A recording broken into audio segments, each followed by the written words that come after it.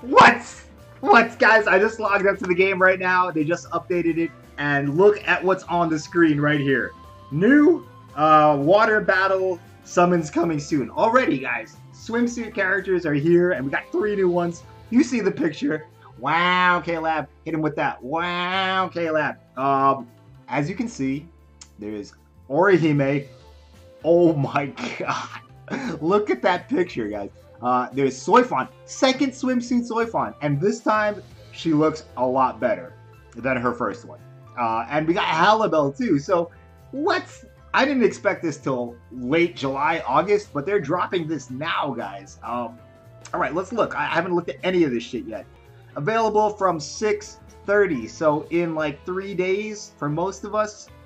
Um, Halibel shining in the summer sun with the glint of battle in her eyes. Yup, the glint of battle. That's what I'm paying attention to. Soifon, a water jetting, water jetting her way to victory. All right, that sounds kind of sexual, but wow, K-Lab Tonberry's gonna shit his pants. Tonberry, Tauntaun. Wow, all in Tauntaun. You gotta do it. Rest in peace. Right after Dark Rukia too. Damn, Tonberry. And Orihime, a beautiful mermaid with sparkling bubbles.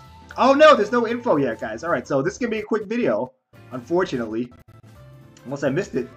Um, yeah, that's it. That's it. Uh, so, uh, Swimsuit character not, not be added to premium summons. Yeah, we knew that.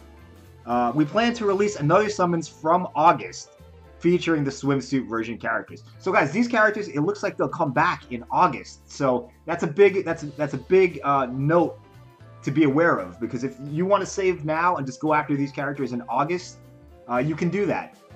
And the same deal is with the uh, Parasol characters. They're going to come back in August as well. So I don't know if they're going to do a Parasol and swimsuit holiday banner like together at the end of August, but they're going to be available again. So don't panic if you don't have orbs. That Orihime, dude, this is blatant, K-Lab. Look at how blatant that is. I mean, I'm not complaining. I like fan service, but Wow, K-Lab. Wow. Uh, hopefully they're good, guys. I'm sure they will be. But uh, that's all the info we have for now, guys. Tomorrow will probably be like the stats and stuff or the uh, gameplay. So look forward to that. I'll have it for you as well. So um, I will see you guys then.